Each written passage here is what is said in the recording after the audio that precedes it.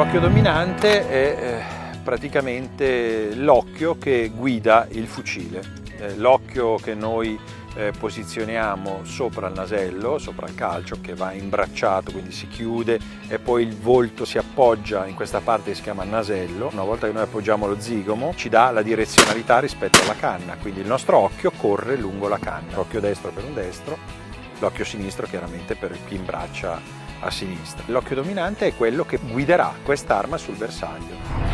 L'occhio dominante è quell'occhio con cui si mira. Tutti hanno un occhio dominante, ognuno di noi ha un occhio dominante, o il destro o il sinistro. In genere succede, si, si verifica che un mancino ha l'occhio predominante sinistro e un destro ha l'occhio predominante destro.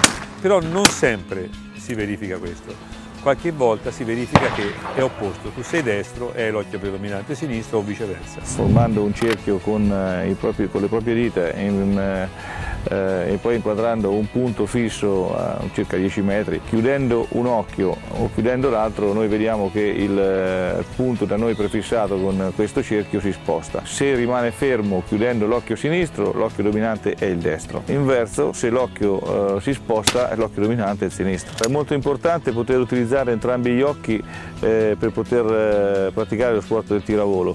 Eh, l'utilizzo di un semplice occhio che è causato dal, dal problema dell'occhio dominante inverso e quindi essere chiuso con, una, con un semplice cerotto nell'occhiale questa, questa, cosa qui impedirebbe al tiratore di identificare la profondità stessa del bersaglio, nonché eh, precludere la visione del, di una parte importante del campo visivo.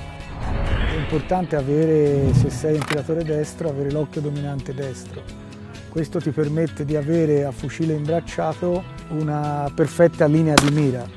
Avere l'occhio sinistro dominante sempre per un tiratore destro comporta molti problemi. Se una persona è destra e una volta imbracciato il fucile ha come predominanza l'occhio sinistro, è ovvio che la direzionalità delle canne sarà sfalsata rispetto a quella che ci sarebbe se invece fosse dominante destra, perché guiderà il fucile con l'occhio sinistro, solo che la canna si trova un po' più distante perché si trova sotto l'occhio destro e quindi ci sarà questo grande problema ecco, che può essere risolto in tanti modi, eh, per esempio chiudendo con una leggera benda l'occhio sinistro per, pur mantenendo gli occhi aperti per impedire che interferisca nella dominanza oppure alzando leggermente la mano sinistra sull'asta per impedire che l'occhio sinistro eh, in qualche modo interferisca sulla, eh, sulla guida del fucile.